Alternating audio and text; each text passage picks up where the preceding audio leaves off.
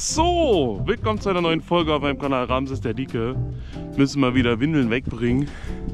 Guckt euch doch mal diese schöne Schneelandschaft an hinter einem. Eine Seite, andere Seite. Das, das sind Dinge, die ich nicht verstehe. Hier haben immer die Autos gestanden und immer wenn du woanders gestanden hast, dieses, stellen Sie sich doch bitte da an den Rand, so wie alle anderen. Dann kommt eine Firma und macht hier lauter Kübel hin, damit sich da keiner mehr hinstellt. Ne? Keine Parkplätze mehr, keine Autos mehr, keine Anwohner. Wir werden hier vertrieben. Hätten sie wenigstens Blumenkübel hingestellt, mit Erde rein, damit man da mal was pflanzen kann, dass da wenigstens so eine schöne Allee entsteht, das wäre richtig cool gewesen.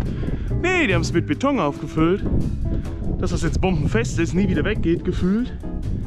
Und da einfach keine Bäume und keine Pflanzen reinkommen und das halt einfach nur schäbig und leer aussieht. Was nicht schäbig und leer ist, weil es schäbig und voll ist, ist meistens hier diese Tonne.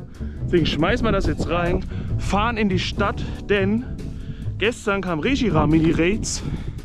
Da haben wir einen Community Raid gemacht. Mega Sherox ist aber auch in die Raids gekommen. Da muss ich noch eins mega entwickeln auf dem Habanero Account. Haben jetzt schon gestern auch ein schönes, fettes, großes rüber getauscht. Auf Level 40 und mehr. IV sind egal. Damit ich einfach heute ein Mega Raid mache und eins entwickle. Ich hoffe, die Energie reicht dann auch aus. Außerdem müssen wir zur Hauptkaserne was wieder da bei diesem Justizgericht ist, wo letztens die Polizei einen angesprochen hat am Wochenende. Und was ist heute? Wochenende. Drückt mir die Daumen, wünscht mir Glück. Wir sehen uns bei Mega Sherox Raid. So, wir stehen jetzt wieder hier vorm Gebäude X, ne, was man nicht filmen darf. Obwohl, beim letzten Mal waren wir ja da hinten durch und da ist wohl das ganz schlimme Gebäude und hier vorne ist eigentlich noch nie was passiert. Gleichzeitig habe ich jetzt hier diesen Shiny Hodensack gefangen. Der saß nämlich auch hier rum. Wir können ja mal flüchten. Da seht ihr nämlich, zack, da sitzt der Shiny Hodensack direkt hier. Der hat mich angelockt. So haben sie es nämlich gemacht. Die tun den Hodensack hin, locken die Spieler an und dann kommt die Polizei. Ich muss jetzt kurz noch die Leute mir aufschreiben, die wir gleich einladen müssen zum Raid. Dann können wir ja gleich in der Lobby nochmal über Mega Sherox reden. Ich habe nämlich jetzt, glaube ich, auch keine Infografik, wie immer bei den Mega Raids, nur bei den legendären. Sonst versuche ich den Hodensack einzutüten Leute aufzuschreiben, einzuladen und dann Mega Sherox noch entwickeln für den neuen Eintrag. Und das Ding können wir eigentlich direkt verschicken. Aber egal. Wir machen gerade wieder Teamquests. Ich muss noch Feuer-Pokémon fangen im Team. Dann müsste ich mit der letzten Seite auch fertig sein. So, da sind wir zurück und guckt euch doch mal die schöne Kulisse an, ne? Wenn ihr uns auch vorstellen könnt, hätte da hier so eine Allee gehabt als Flucht. Also sieht eigentlich beides gut aus. Und hier hat man vor allem immer seine Ruhe am Wochenende, außer man wird besucht. So. Was haben wir jetzt hier? Ich habe extra noch keinen Pokestop gedreht. Das müsste der erste Pokestop des Tages sein. Da ist auch wieder eine gratis Brotmaschine drin für mich, dank dem Ticket von Gelber Deadpool. Dankeschön dafür. Da will ich ganz kurz mal in Telegram gucken, wer sich eingetragen hat für den Raid. Wir haben ab ins Tierheim, Johannes 07, X I'm on Fire, Matze Nordland, J-Level 50, Schäfe, Creeper, Schnibitzer, Stefan, Andres. Die haben sich eingetragen, die muss ich einladen. Halb geht's los, es ist 29. Sherox, Mega Sherox ist Käfer, ist Stahl. Das heißt, ihr nehmt Feuer. Feuer gegen Stahl, Feuer gegen Käfer, dann müsste das richtig gut machbar sein, mit auch viel wenigen Leuten und so. mit wenigen Leuten, nicht mit viel wenigen. So, wir gehen jetzt mal rein. Ihr seht ja auch immer schon, was es euch vorschlägt. Das ist eigentlich in letzter Zeit gut gemacht. Kann man nicht meckern. Am Anfang hat das, also früher hat das euch irgendwas vorgeschlagen. Mittlerweile stellt das schon sinnvolle Sachen zusammen, sinnvolle Teams. Bei mir ist hier äh, fünfmal Flampivian drin weil das eigentlich mein Feuerangreifer ist. Ich wollte eigentlich irgendwas, was Feuer hat und das dann gleich sechsmal, damit ich gar nicht groß überlegen muss, sondern dann ein Team habe von sechsmal dem gleichen Pokémon. Es hat sich jetzt ein Hundemon vorne mit reingeschlichen. Das ist nicht schlimm. Ich müsste ja eh für die eine Aufgabe wieder sechs verschiedene Pokémon nehmen in meinem Team, damit ich da weiterkomme. Ich muss nur bei jedem Raid mich immer daran erinnern, dass ich nicht einfach kämpfe mit dem, was da ist oder mit dem, was ich möchte, sondern dass ich auch ein paar Gurken mit reinnehme. So, jetzt haben wir hier die restlichen vier. Die schmeißen wir noch rein. Jetzt gucken wir mal, ob wir unser Team irgendwie angleichen können. Wir können ja trotzdem mal Feuer eingeben. Dann können wir hier noch den Hannes mitnehmen, genau. Skelabra, die sind glaube ich alle auf Äh, auf Geist umgemünzt. Das Klura können wir einpacken. Das hat Frustration.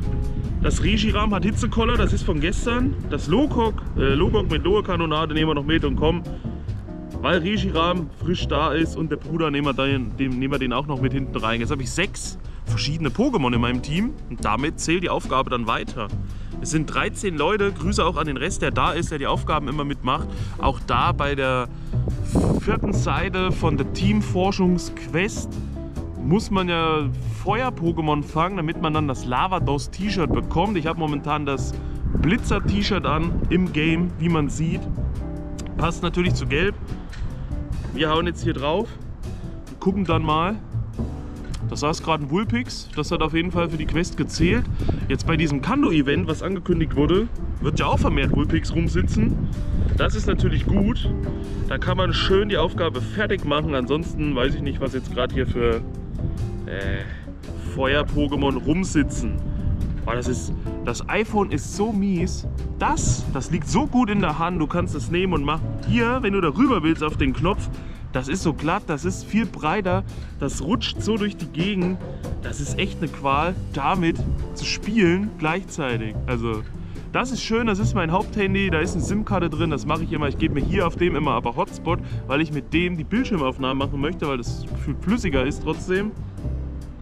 Aber irgendwie ist das alles nicht perfekt. Es wäre schön, wenn alles mit einem ist, ist es nicht. Deswegen, ich lasse mal hier die Belohnungen durchlaufen. Guck kurz hier, 16,65 auf dem Nudel-Account. Muss mal kurz Pupsi fragen, was die hat. Wie viel hat deins?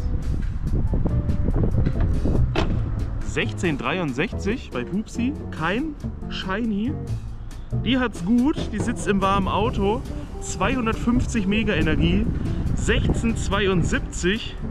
Jetzt habe ich doch schon wieder vergessen, was das andere hatte. Aber wir versuchen es mal einzutüten. Ich kann ja nochmal nachgucken, was 72, 65. Müsste jetzt das höchste sein. Es hat einen knüppelroten Kreis. Es ist ja auch knüppelrot. Als Shiny ist es grün, das sieht gut aus. Ich habe glaube ich sogar einen Sichler Shiny letztens geklickert. Aber das hat ja ein schlechtes Level, deswegen habe ich mir extra einen Sherox mit gutem Level einfach rüber getauscht bei einem kleinen Account, den ich eh nicht mehr brauche. Da kann ich ja jetzt alles ausgeben.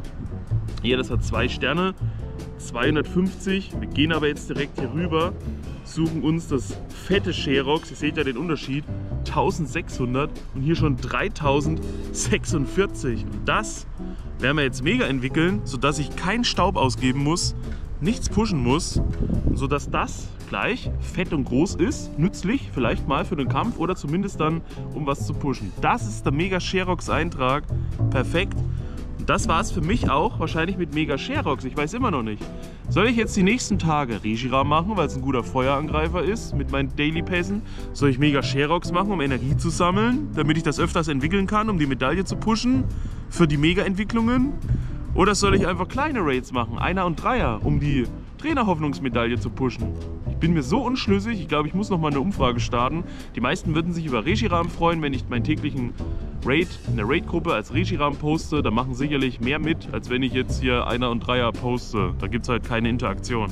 Schreibt mal rein, wie es bei euch aussieht. Habt ihr Bock? Was macht ihr so die nächsten Tage? Regiram? Wahrscheinlich. Das war's von meiner Seite aus. Wir sehen uns beim nächsten Mal. Bis dahin. Peace out, Vorhaut, euer Ramses.